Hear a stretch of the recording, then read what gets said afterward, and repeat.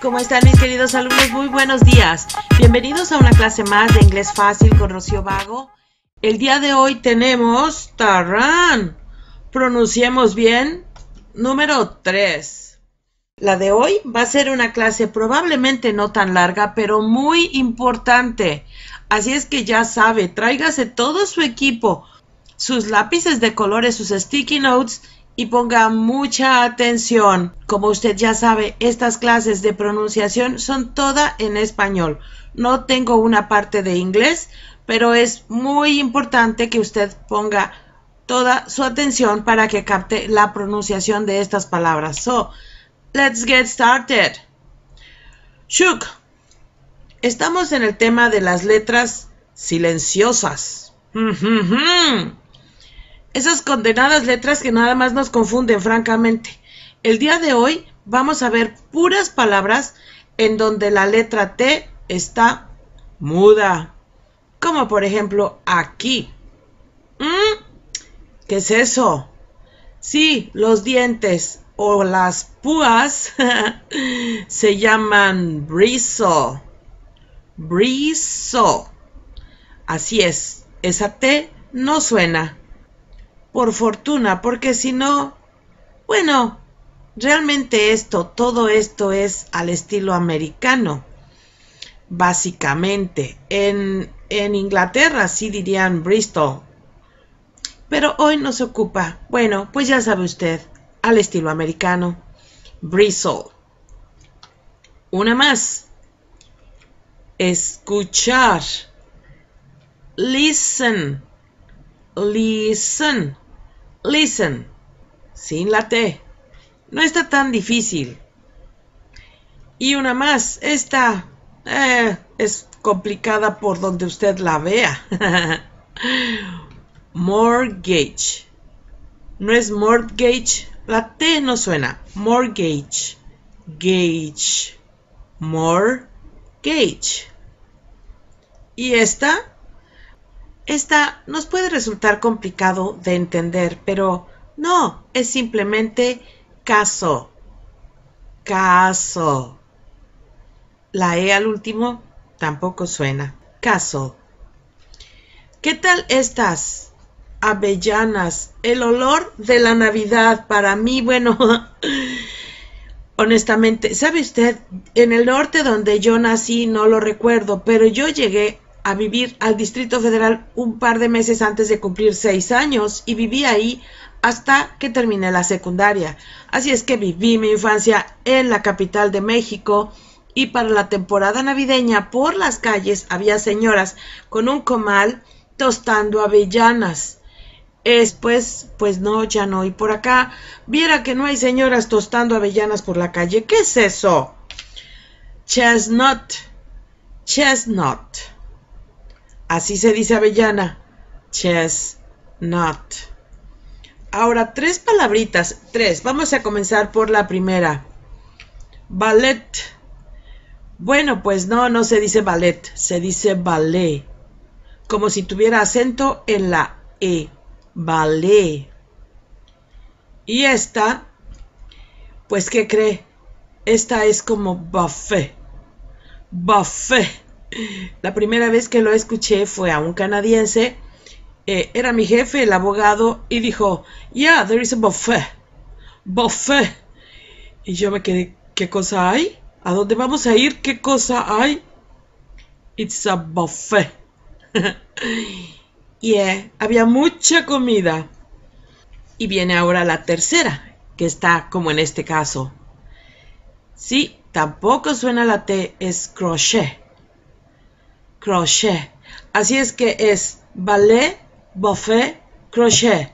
Las tres suena como acentuada la E, pero la T, nanay, esa no pinta, pobrecita. So, ballet, buffet, crochet. ¿Eh? Hasta parece que estuviera uno hablando, pues quién sabe, no sé qué idioma. Ok, otras letras silenciosas, pero estas sí como nunca más American Style. ¿Ya? Y le voy a decir de qué se trata. La combinación NT. ¿What? ¿Cuál combinación? Sí, NT, como en dentist. Ay, Dios mío. Ay, no, este dentista se ve como muy sádico. No, no, no, no. Otro. Uy, no, tampoco. Este parece que estuviera loquito. Eh, ok, e, este se ve normalito. bueno, después de la ardua labor de encontrar un dentista así, más o menos, que no se vea sádico. Discúlpenme, dentistas, no estoy haciendo broma de ustedes. Aquí nada más entreteniéndonos un ratito antes de darles la mala noticia que se dice dentist. Ay, no, ¿cómo se dice? Dentist. Esto es porque la T va después de la N. Sí, pero en estos casos donde hay una T después de una N, esa N suena como doble. Dentist. Como que la T sonara también como N. Dentist. Bueno, y si no lo ha captado, pues significa dentista, ¿verdad? Así es que esta combinación NT resulta en que la T suena como otra N. Dentist. Got it? Ok, no, no se ha terminado la clase, nada más es para asegurarnos que vamos bien. Así es que aquí, esta palabra, sí, sí, Internet. Internet. Ahora, aclarando, no quiere decir que usted no pueda decir dentist o no pueda decir internet. Claro que puede, pero la cuestión está en que usted entienda cuando ellos hablen y digan internet. What? Internet. y aquí no le puse la traducción porque pues no la necesita, francamente. Veamos una más. Interaction. Ya. Interaction. Interaction. ¿Y qué tal esta? Center. Center, que también la va a encontrar usted escrita así, ¿verdad? En ambos casos se pronuncia center. Y la escritura, bueno, pues cualquiera de las dos significa lo mismo. Y la pronunciación, como ya dijimos, es la misma. Center. Veamos ahora este caso. Romantic. ¿Cómo que romantic? ¿Como de así? ¿De Rome? ¿Like romantic from Rome? no, no es de Rome. Es romantic. Ya ve usted por qué es importante que si vea esta clase y lo entienda. Porque si alguien dice, oh, it's so romantic. So what? Romantic. y esta palabrita, ay, Dios mío. Bueno, a veces ellos son unos ángeles y otras veces... Dejémoslo así. Hay telefonito, tranquilo. Ahora, ¿cómo se pronuncia? Bueno, primero ya sabe usted lo que es, ¿verdad? Y se pronuncia representative. Representative. Sí, esa T, la segunda T tampoco suena como T. No es representative. Ahora, ¿puede ser representative? Sí. ¿Puede ser representative? Sí. Pero usted no se confunda cuando ellos vienen con representative. E incluso simplemente rep. Obvio, por eso hacen cortas sus palabras, porque pues están medias complicadas. So, rep. Es lo que usted más va a ver. Vamos ahora a mi pueblo. Ajá. Aquí, donde estamos en estas heladas tierras. Oh, Canadá. Sí, con el frío se vuelve uno medio loco. Ok, la pronunciación. Trono. ¿Cómo?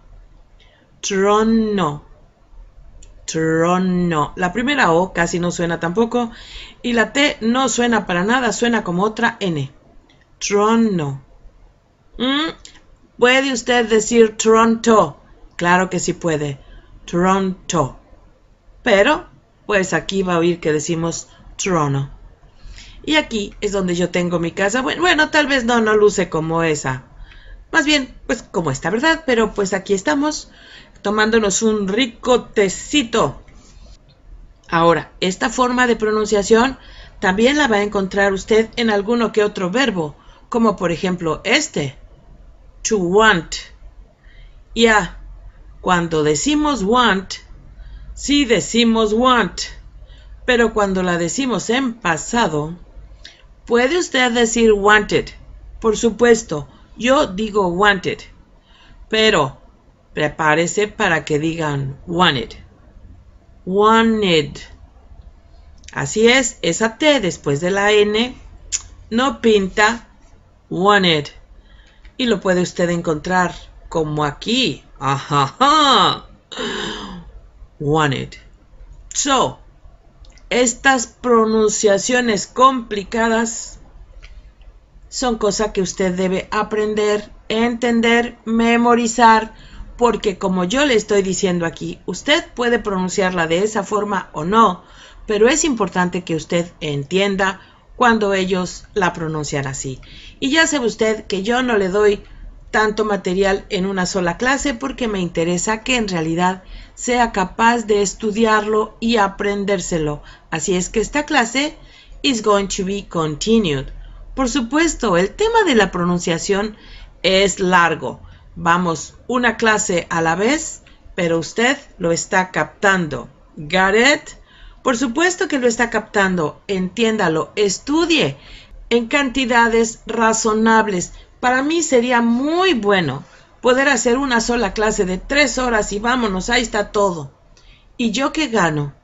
Bueno, yo tal vez ganaría muchas vistas a mi clase, pero mi objetivo aquí es que usted aprenda. Por eso le doy lo que es una clase normal, regular, con material suficiente para que usted lo aprenda, porque usted está decidido a aprender inglés y yo estoy decidida a apoyarlo, porque ya sabe usted que yo estoy convencida, y más que convencida, de que usted puede. Por supuesto que puede. Muchas gracias y nos vemos en la próxima. Hasta luego.